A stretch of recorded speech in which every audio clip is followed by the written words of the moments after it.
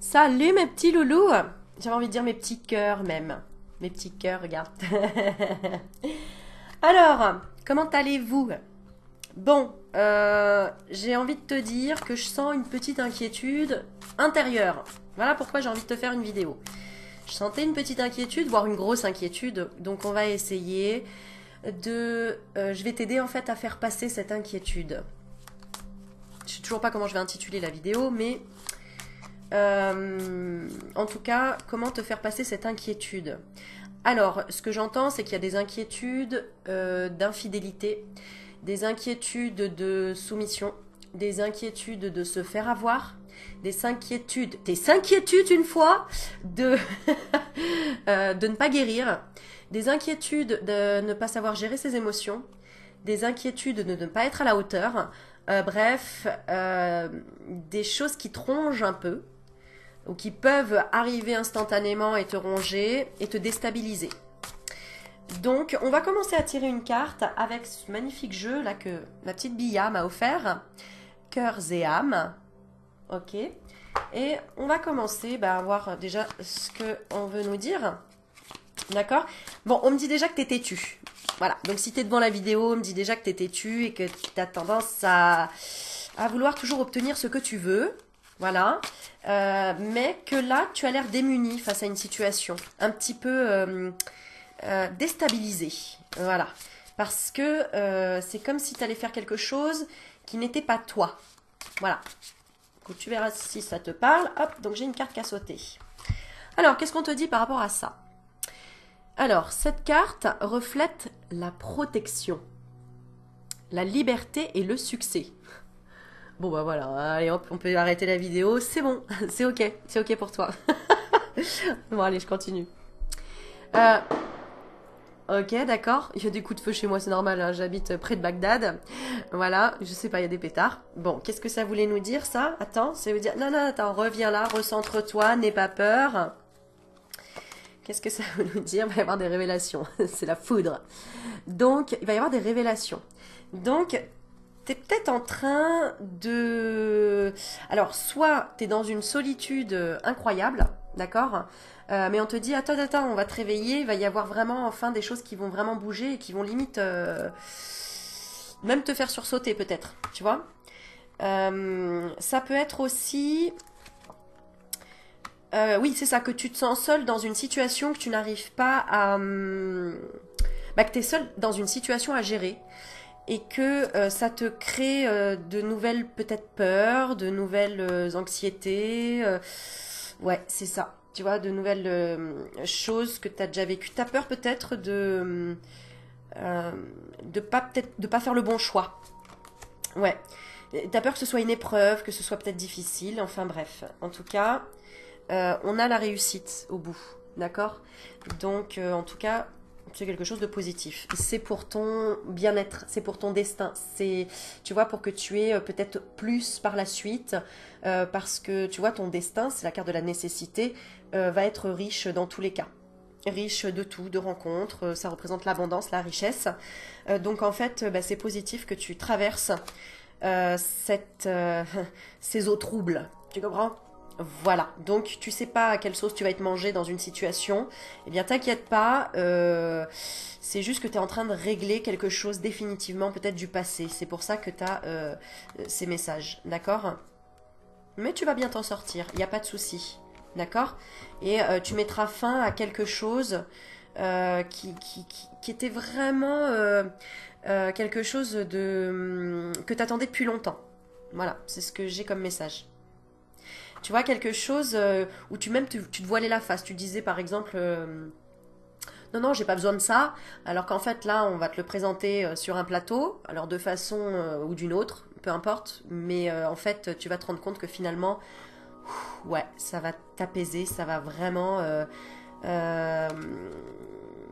ça va vraiment te réveiller d'un déni. D'un déni que dans lequel tu pouvais être donc en fait tu vas avoir euh, de toute façon le choix euh, d'accepter un pardon ou de demander pardon.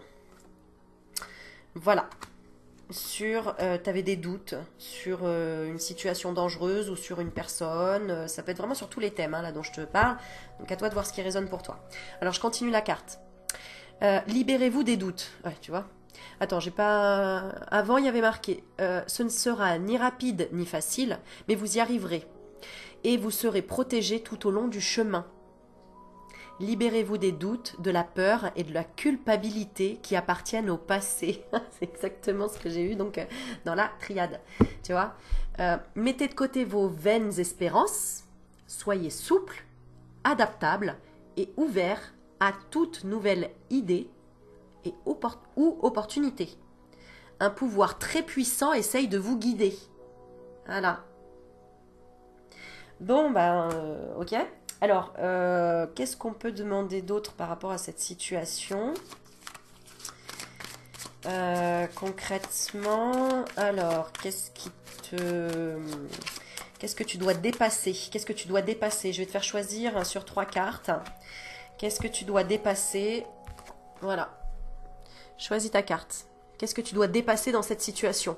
Alors peut-être que tu as des problèmes financiers, qu'est-ce que tu dois dépasser? Bah, Tu choisis une des trois cartes, tu as peut-être des problèmes euh, sentimentaux, qu'est-ce que tu dois dépasser? Bah, Choisis une carte, problèmes relationnels, problèmes familiaux, euh, j'aime pas le mot problème, tu le sais, mais bon voilà.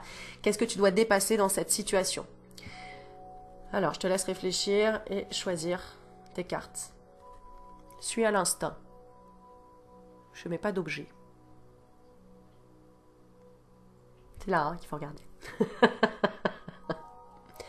Alors, ce que tu dois dépasser, si tu as choisi cette carte-là, c'est... Euh, on parle de phobie ici. C'est ce qui te ronge, d'accord C'est les souris.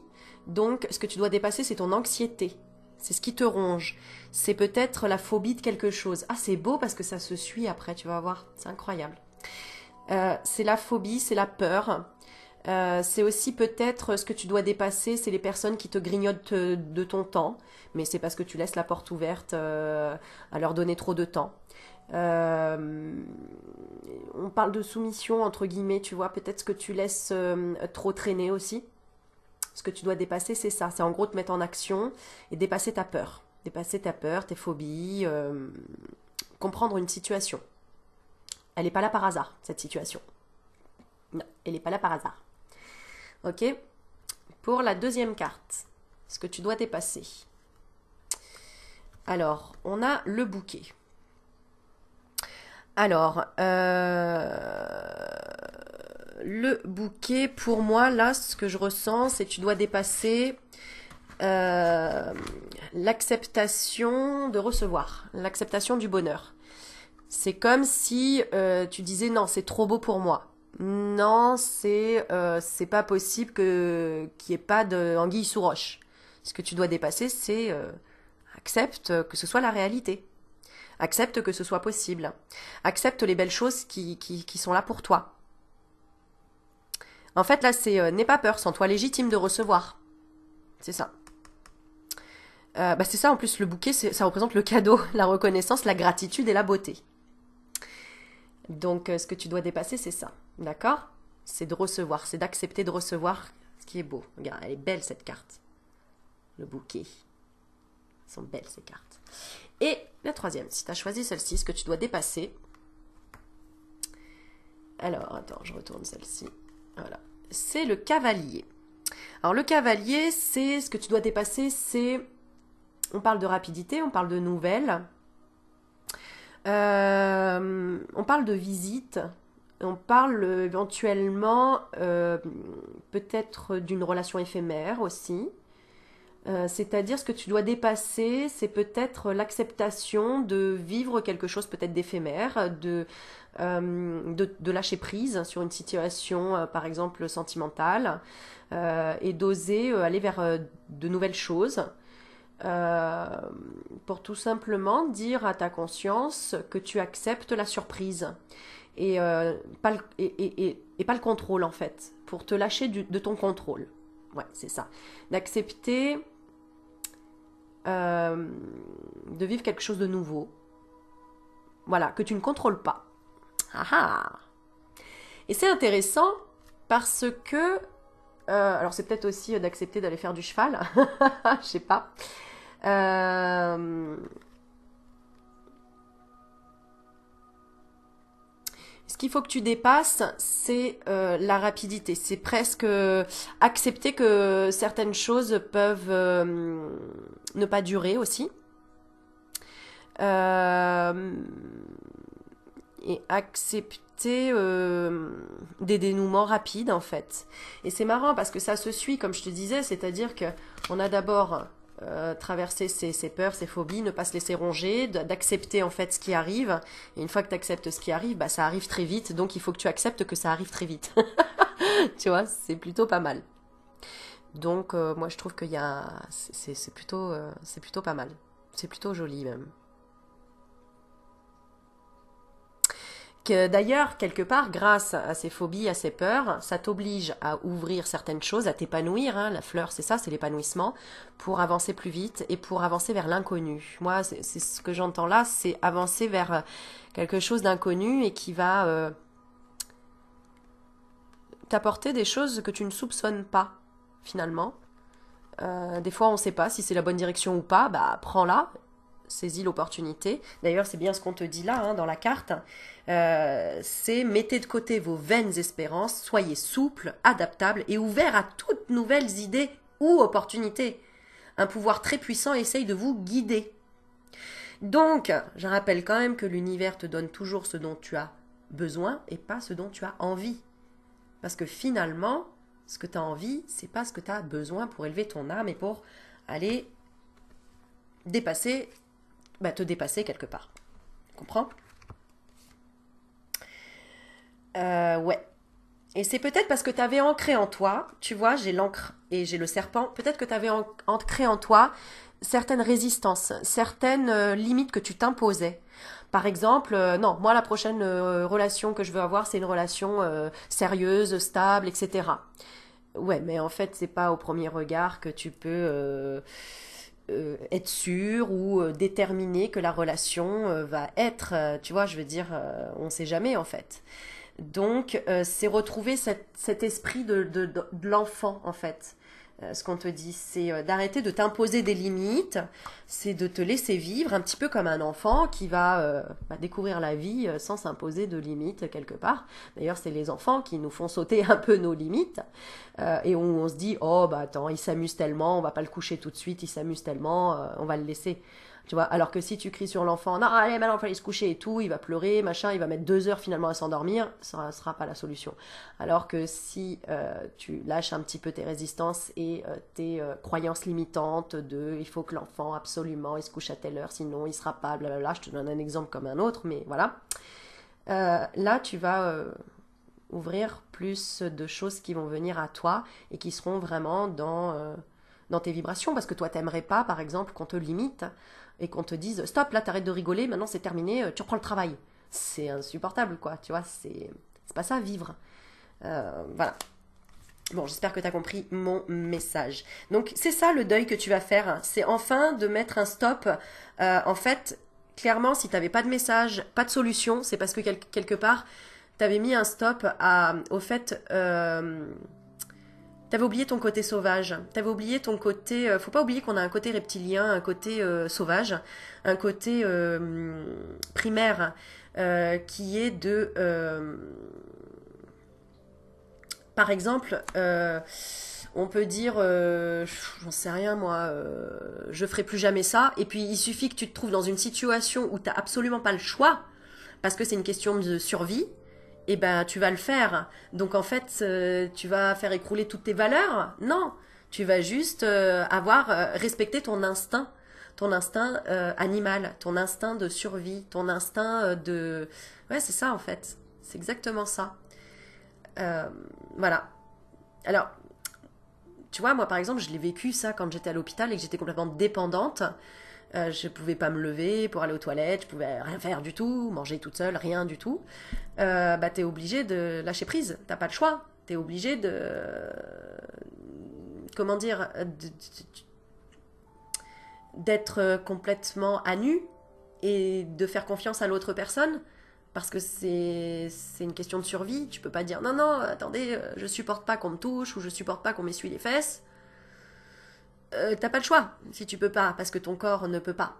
tu vois Donc, tu vas mettre fin à une. Euh, euh, à des messages, enfin, à une idéalisation. Voilà. En fait, à une idéalisation qui, l'idéalisation, est une illusion. D'accord? C'est-à-dire que tu peux très bien avoir des souhaits, avoir des envies, mais tu as remarqué dans la vie, ça se passe jamais exactement comme tu l'as demandé ou souhaité ou vibré. D'accord? Euh, Puisque le but est tout le temps de te faire te remettre en question quelque part. Et finalement, c'est ça la joie de vivre, c'est ça l'intérêt de la vie, c'est de ne pas savoir quelle est la meilleure façon de faire pour atteindre quelque chose qui n'existe pas d'ailleurs. C'est-à-dire euh, d'atteindre le Graal. C'est quoi le Graal? J'en sais rien. Mais euh, tu comprends ce que je veux dire? C'est juste de faire confiance en ta bonne étoile. C'est marrant, hein euh, Et de suivre le chemin qui est en fait en face de toi, tout simplement.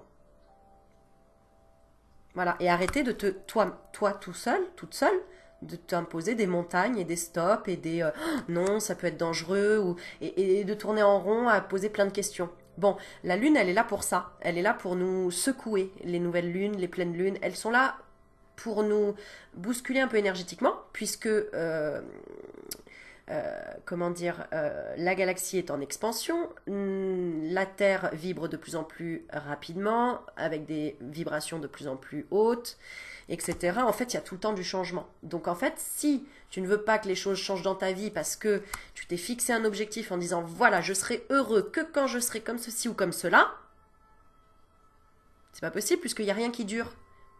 Tout est mouvement. Tu vois? C'est-à-dire que la seconde, euh, là où je parlais juste euh, il y a une seconde, euh, elle est déjà loin. tu vois? Je vieillis là. Toutes les secondes, je vieillis. Je peux pas rattraper le temps. C'est pas possible. Tout le temps, ça tourne tout le temps. Et la Terre, elle s'arrête pas de tourner pour toi. Donc en fait, tu peux pas faire un stop. Je veux vivre tout le temps ce bonheur-là. Je veux vivre tout le temps comme ça. Où il y a que comme ça que je serai apaisé. Mais non Le but de la vie là, c'est de régulièrement euh, renouveler les, chaque scène de théâtre. Tu vois, c'est comme Dallas. Dallas, c'est pareil. Il n'y avait jamais le même épisode chaque jour. Bah, c'est pour ça que ma mère se levait tous les matins. Ouais, il y a un nouveau. C'était pas Dallas, c'était Amour, Gloire et Beauté. Désolée, maman. Je te trahis un peu. Mais euh, qui se levait tous les matins. Et c'était sa motivation d'ailleurs du matin pour se lever. Qu'est-ce qui va se passer aujourd'hui Tu vois? En fait, nous, on devrait être comme ça dans la vie. Bon, qu'est-ce qui va se passer aujourd'hui? Un tel va tromper un tel un tel va me faire du mal, un tel va machin. Ok, bon, qu'est-ce que je dois faire pour en fait à chaque fois rétablir un équilibre pour tout le temps euh, me sentir bien ou euh, tu vois? Voilà. Donc, euh, je le rappelle, mais tu es ton propre ennemi. Donc, tu es ton propre ennemi. Et oh, on n'arrête pas de me donner plein de messages, mais tu vois, on me montre la fleur. Pour moi, c'est une fleur, un nénuphar. fleur du lotus, qui, euh, n'oublions pas, elle naît dans la boue pour au final éclore euh, à la surface. Et c'est une plante qui est magnifique alors que pourtant elle naît de la boue. Voilà. Donc euh, en fait, nous sommes là pour élever notre conscience et pour devenir, oh ben c'est beau, regarde ce que j'ai juste derrière, pour devenir autant masculin que féminin autant énergie masculine que féminine. Pas qu'il y ait un rapport de force entre l'un et l'autre, comme euh, par exemple à la période celtique, c'était les femmes qui étaient dominantes, et euh, ensuite il y a eu des périodes euh, où c'était les hommes qui étaient dominants. Enfin bref, observe un petit peu toute l'histoire. Il y a toujours eu des conflits et des batailles de qui doit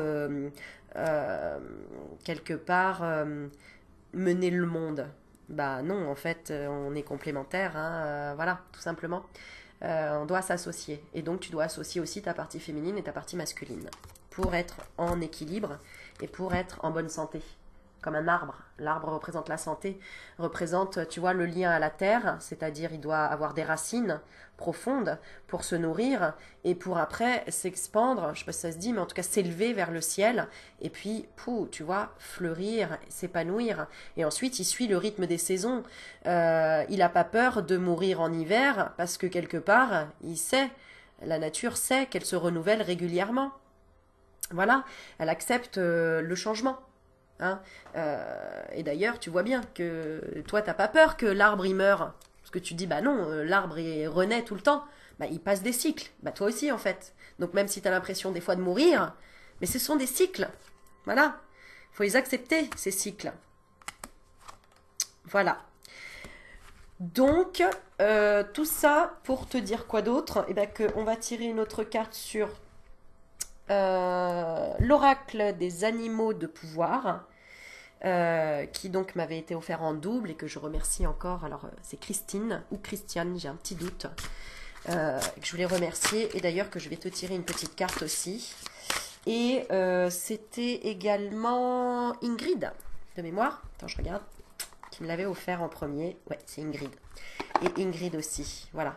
Et j'aime bien ce jeu, il est, vraiment parlant, il est super. Alors, on va tirer une carte pour le collectif, pour tout le monde. Quel message as-tu envie de nous transmettre Je sais pas, qu'est-ce que j'ai fait du livret Aurélie, Aurélie. Allez, là. Alors, on est parti.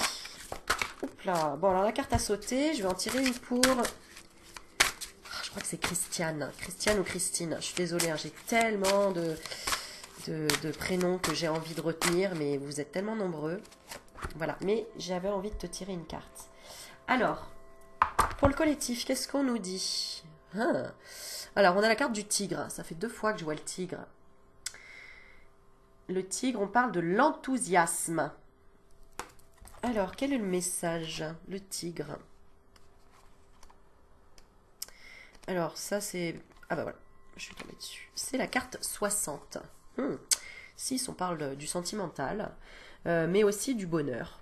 Alors, signification de la carte. Une force indomptée est en vous.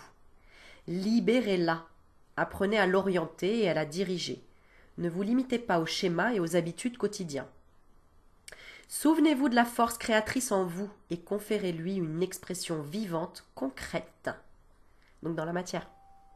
Redécouvrez le monde en vous il faut du courage et la force d'aller jusqu'au bout. Il s'agit de déceler le bon moment pour agir. L'explication. Le tigre entre dans ta vie pour vous défier et allumer votre feu intérieur. Tu vois, on est en plein dans le sujet, quoi. Si en ce moment tu es dans une angoisse, dans quelque chose comme ça, c'est justement pour réveiller le feu qui est à l'intérieur de toi, tu vois, pour dire bah non, quoi, je vais pas me laisser faire. Euh, qu'en est-il de ce feu intérieur, de votre force créatrice? Comment la percevez-vous et comment la souhaitez-vous? Comment et pourquoi la mettez-vous en œuvre? Le tigre vous enseigne la maîtrise de soi. Il vous permet de trouver le feu créateur et la flamme éternelle.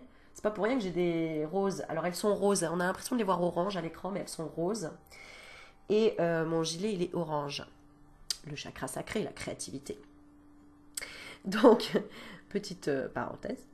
Euh, comment et pourquoi la mettez-vous en œuvre? Le tigre vous enseigne la maîtrise de soi, il vous permet de trouver le feu créateur et la flamme éternelle en vous.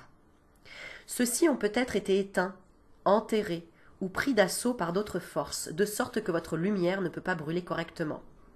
Il y en a ici qui, ont besoin aussi d'un coup de foudre. C'est ce que j'entends d'un coup de cœur, d'un coup de foudre, d'un coup de fouet. Après, euh, chacun fait comme il veut. Mais euh, voilà, d'un coup de, de réveiller une partie de sa déesse intérieure. Voilà ce que j'entends. Donc ça peut être aussi de la sexualité. Ceci, donc, on peut peut-être été éteint, enterré ou pris d'assaut par d'autres forces, de sorte que votre lumière ne peut pas brûler correctement. Mais avec le tigre, vous avez un allié puissant qui vous aide à allumer cette flamme énergique et éternelle, à maîtriser sa force, à la doser correctement et à la vivre. Occupez-vous de votre force, du feu en vous. Apprenez à le connaître, à le déployer et à l'utiliser avec une conscience juste. Vous disposez d'une autorité naturelle, elle vient de Dieu. Concentrez-vous sur elle. Lorsque vous êtes en pleine possession de votre force, vous n'avez plus à enfreindre ou à violer les limites et n'avez rien à craindre, rien du tout. Votre force intérieure, pleine et entière, est votre meilleure protection. Allumer le feu intérieur apporte la guérison. L'affirmation que tu peux dire, donc tu peux la dire juste après moi en même temps. J'allume le feu en moi et l'oriente pour mon bien, ainsi que pour celui de tous ceux qui y ont part, qui y ont part. Le feu en, moi me guérit et me fortifie. Exactement. D'ailleurs, euh, moi, mon histoire de grippe là qui perdurait, euh, franchement, ce qui m'a aidé à sortir de cette grippe, bon, c'est un peu des gouttes d'homéopathie, j'avoue. Et encore, c'est surtout euh, la motivation de faire mes consultations, la motivation d'apporter du bien-être aux autres. et c'est là que je me suis dit, non, non, je me sens légitime d'être euh, d'avoir euh, peut-être pas la force physique, mais en tout cas la force. Euh, parce que la grippe, elle m'a, voilà, elle m'a, elle m'a plombé au niveau physique, mais pas au niveau de mes réflexions, de ma tête, quoi, si tu veux, de ma concentration. Donc, j'ai mis toute cette force dans ma concentration, et du coup, mon corps, bah, s'est réaligné en fait. Et du coup, j'ai beaucoup moins été dans cet état de fatigue intense intérieure. Voilà. Si ça peut t'aider. Bon, ma petite carte pour euh, Christiane. Je crois que c'est Christiane. Christiane ou Christine Eh ben, ce sera pour toutes les Christianes et pour toutes les Christines. On a le dauphin. Le dauphin. Quelle belle euh, synchronicité avec la bougie, d'ailleurs, que je suis en train de brûler. Voilà, le dauphin qui représente la joie de vivre. Et là, cette bougie, alors, elle aide à donner un nouveau souffle à sa vie. Et il y a une petite prière derrière hein, qui dit Ta joie de vivre est communicative. Je ressens cet amour inconditionnel que tu portes à toutes les créatures. J'inspire et j'expire profondément. L'énergie de vie circule dans tout mon corps. Je me libère et me guéris de ce qui m'oppresse.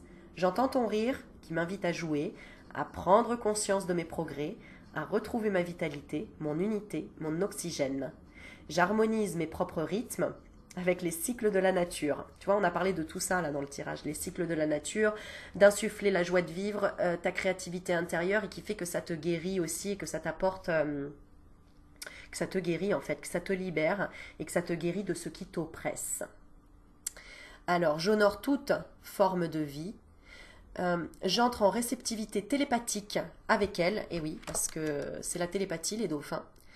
Euh, alors j'ouvre mon cœur et je développe une meilleure communication. Moi, enfant de ciel père et de terre mère, je te remercie, dauphin, d'amener un nouveau souffle à ma vie sur ce chemin de sagesse. Grâce à toi et avec toi, je grandis. Voilà. Donc, la petite bougie qui va brûler et qui brûle pendant 9 jours. Alors, joie de vivre. On continue avec le dauphin. Le dauphin.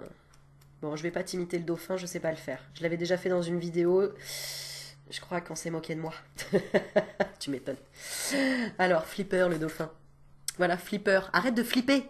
Fais le dauphin. Voilà, c'est ça. Fais le dauphin ce soir devant ton miroir et tu penses à Aurélie Magnétique. Là, tu rigoleras, tu vas insuffler la joie de vivre intérieure, je te jure. ah là là. Signification de la carte. Si le dauphin est à vos côtés, vos affaires se régleront comme un jeu d'enfant. Avec sa manière aimante, le dauphin vous invite à jouer, à vous amuser, à être heureux. Ainsi vous accédez à un niveau vibratoire plus élevé où vous trouverez la réponse salutaire. Le flux d'énergie s'amorce. Alléluia. Explication. Regardez ce qui vous fait plaisir et vous donne de la joie de vivre. De la belle musique, la danse, le chant, la peinture, Aurélie magnétique, la promenade, bon d'accord, euh, la rencontre avec des amis, etc., etc. Quand nos sentiments se teintent de nouveau de la joie que la vie apporte, les circonstances changent. Tout simplement parce que nous-mêmes avons changé d'attitude. Le dauphin entre à présent dans votre vie pour vous montrer la beauté de la communication. Je sais que ça va résonner pour beaucoup de personnes que j'ai eues il n'y a pas longtemps. Nous avons tant de possibilités de nous exprimer et de réharmoniser ce qui a perdu son équilibre. Laissez-vous laissez inspirer. Dites sans parole et plein de joie ce que vous voulez dire. Écrivez-le dans l'air, représentez-vous l'harmonie. Il existe tant de manières de communiquer avec créativité. Le monde spirituel vous aime infiniment. Il vous guide et vous protège. Les dauphins, qui sont les anges de la mer, vous font signe que tout va bien et suit son juste cours. Ils vous envoient des sonorités guérisseuses et vous invitent à pardonner à pardonner, à autoriser la guérison. C'est ce qu'on a vu dans les trois cartes tout à l'heure qu'on a tirées ici. Hein tu te souviens? À autoriser la guérison de ta souffrance intérieure, à accepter de recevoir et de recevoir rapidement. Même si tu n'y crois pas. Eh oui. Euh, à recommencer à neuf, à éprouver de la compassion, à aimer, à faire inconditionnellement quelque chose pour votre prochain. Ayez confiance en leur force et laissez-vous guider par eux. Orientez de nouveau votre monde intérieur sur la joie, l'amusement, l'harmonie et participez à une communauté en y apportant consciemment votre part. Affirmation. Allez, repeat after me. Je suis lumière et amour. Maintenant. Je suis la lumière divine, rayonnante, qui m'enveloppe, m'inspire et me renouvelle. La fréquence de la joie rayonne à travers moi dans le monde. Alléluia. Voilà. Alors, ça, c'était pour le pouvoir de la communication et de la télépathie. Et j'avais envie de tirer, de ressortir un jeu qui est pour tous les têtus, entre guillemets. Allez, pour les rebelles. L'oracle des rebelles sacrés. Allez, quel tir on, quel tir, quel tir tire ce soir? Oh, bah on va carter une petite carte, hein? Voilà. Alors, qu'est-ce que veulent... Alors, cet oracle, il est relié aux ancêtres. C'est un petit peu comme si les ancêtres voulaient nous donner un message. Voilà ce que je ressens là maintenant tout de suite. Euh, donc comme si peut-être tu demandé un message euh, par rapport à tes ancêtres, ou peut-être que tu as demandé euh, la sagesse à quelqu'un. Tu as peut-être demandé la vie à quelqu'un de sage pour te sentir légitime de faire ce choix. Voilà, c'est ce que je ressens comme message. Alors, donc, qu'est-ce qu'on t'envoie comme message? Qu'est-ce qu'on nous envoie comme message? Vous êtes dans le monde, la carte 34. Elle est belle, regarde, on a plein de poissons. Le poisson qui représente l'abondance, qui représente aussi la conscience de la mer. Alors, on a une jeune femme qui a l'air très épanouie, n'est-ce pas? Vraiment, qui regarde vers le haut, la lumière, tire le bras vers le haut, qui est dans son monde. Voilà ce que j'entends. Et vous êtes dans le monde. 4, 34. 4 et 3, 7. Bravo Aurélie. 4 et 3, 7. Euh, qui est quand même le chiffre euh, du ciel, qui est le chiffre magique, le 7. Euh, qui est le chiffre pour moi de, bah, des 7 merveilles du monde, même si maintenant il y en a, 8, il me semble. mais les 7 jours de la semaine, les 7. tous les 7, quoi, en fait, il y en a plein. mais comme si là, il y avait une chance, une opportunité à ne pas louper, à ne pas rater. N'ayez pas peur de vous mettre à nu. Je crois qu'on est vraiment en train de te dire n'hésite pas, d'accord? N'ayez pas peur de vous mettre à nu. Cela ne veut pas dire que vous devez vous dépouiller et courir nu en public. Non, s'il te plaît. Hein. Tu ne dis pas c'est Aurélie Magnétique qui m'a dit de me mettre à poil et de courir, euh, tu vois, en plein dans le jardin euh, des voisins euh, ou dans le parc public. Mais que vous devez vous débarrasser de vos croyances, de vos protections émotionnelles ou mentales afin de vivre avec le moins de blocage possible. Imaginez le conditionnement qui vous a empêché de vivre. Le conditionnement à propos de l'argent, du temps, de la sécurité, du fait de posséder et de conserver peut-être et de conserver peut-être abandonné. Eh oui.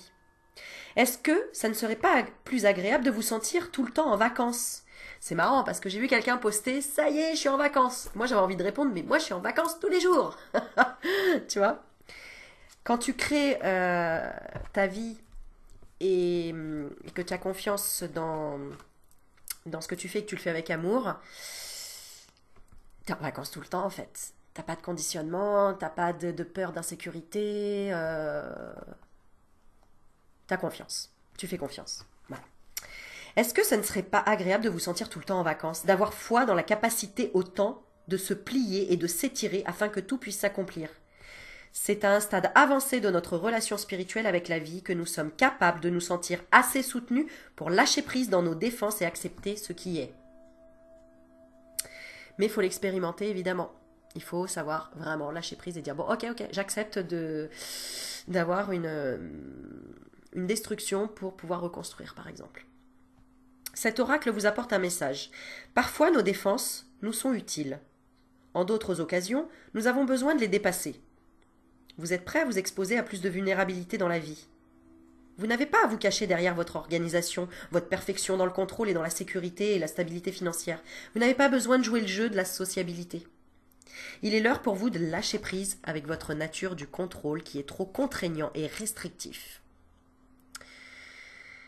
Vous êtes né pour vivre libre, tout nu. Selon votre nature. Bon, d'accord, allez, vas-y. C'est quoi? Je vais me mettre à nu. je je vais avoir une audimat qui va monter comme ça de ouf. Elle s'est foutue à poil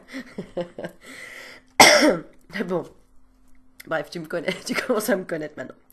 Euh, vous êtes né pour vivre libre selon votre nature et non selon votre conditionnement. Si vous avez tiré l'oracle confiance dans le processus, c'est un message particulièrement fort pour vous.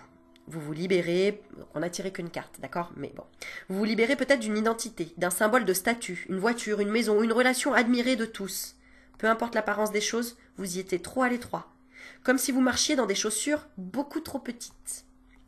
De la même manière, vous vous libérez de croyances intérieures qui vous ont échoué, peut-être également extérieurement. Attends, je relis la phrase. De la même manière, vous vous libérez vous vous libérez de croyances intérieures qui vous ont échoué, peut-être également extérieurement. Peu importe si ce sont vos choix ou pas, ne vous trompez pas, c'est votre propre esprit de mèche avec l'esprit de la vie qui vous a mis dans cette situation. Eh oui. Si vous avez également tiré l'oracle, confiance en vous, on va dire qu'on l'a tiré. Apprenez alors à pouvoir compter sur la vie, mais également sur votre conscience intérieure. Lorsque vous aurez lâché prise, vous aurez plus de place pour vous réaliser. Alors, on va faire un processus de guérison. Mais juste avant ça, je veux que tu tires une carte et je vais t'en faire choisir entre les trois sur quoi tu dois lâcher prise. D'accord? Ce qu'on te conseille en fait. Et à toi de choisir soit le thème, si c'est financier, relationnel, par rapport à une situation très précise, ce qu'on te conseille. Tu peux tirer les trois pour le même thème. Hein, euh, à toi de voir ce que tu ressens. D'accord? Moi, je te tire trois cartes et à toi de décider pour quelle situation elles sont. D'accord? Et même si t'es pas d'accord, je le fais quand même. de toute façon, si t'étais pas d'accord, tu serais plus là. Bon, on te dit en coupe, sors du déni et surmonte ta peur du changement. Bon, d'accord, donc ça c'est clair par rapport à tout ce qu'on a vu déjà depuis le début. Allez, tu choisis, je les remets juste à l'endroit. Voilà les trois cartes. À toi de choisir soit sur le thème de quoi tu dois lâcher prise, Pose une question précise.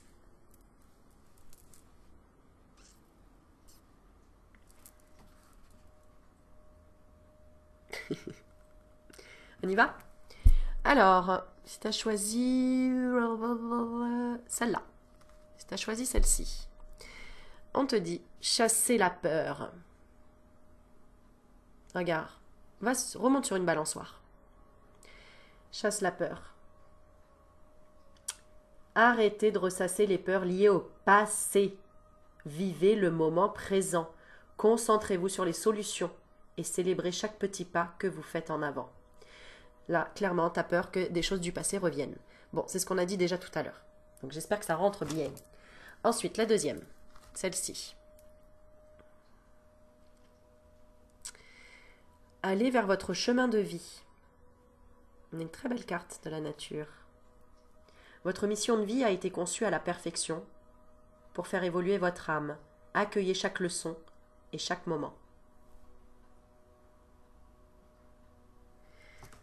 Et la troisième,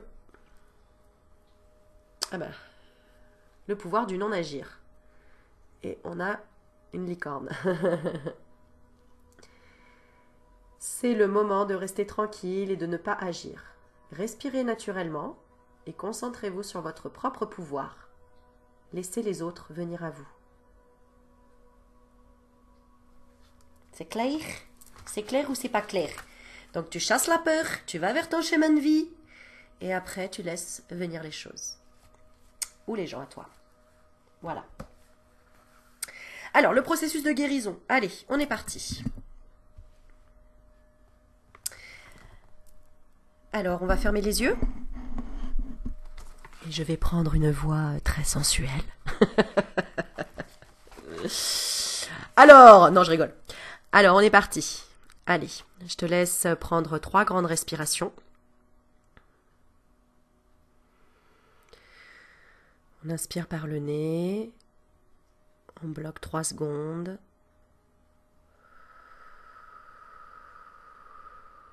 Et on relâche tout l'air jusqu'à vider complètement ses poumons.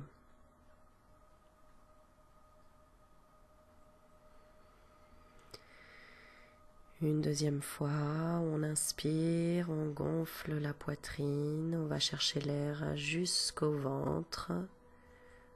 On bloque 3 secondes et on relâche.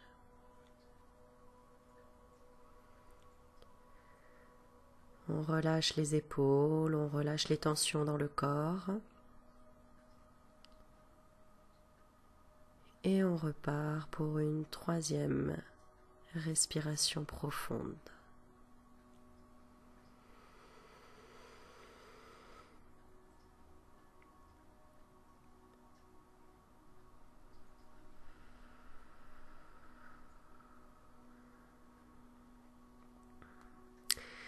Et tout en étant détendu, en ayant les yeux fermés, imaginez que vous courez nu vers la mer l'océan, la rivière ou une chute d'eau, pourquoi pas.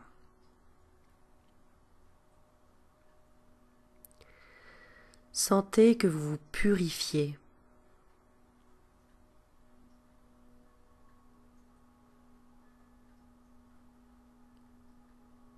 Faites-le en conscience. et prenez plaisir à cette sensation. Sentez-vous libéré de tout le poids dont vous n'avez plus besoin, qu'il soit physique, émotionnel, mental ou spirituel. Et on respire.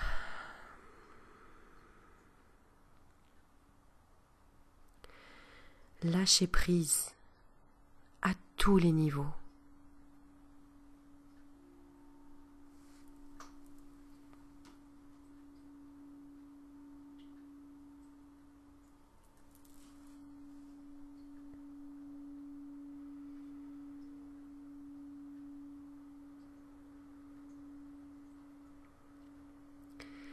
Lorsque vous serez prêt, ouvrez les yeux,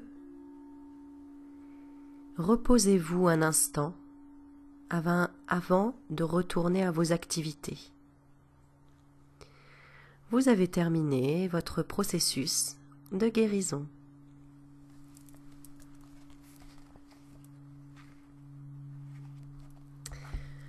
Voilà, maintenant je vais te laisser reconnecté à ta conscience. Et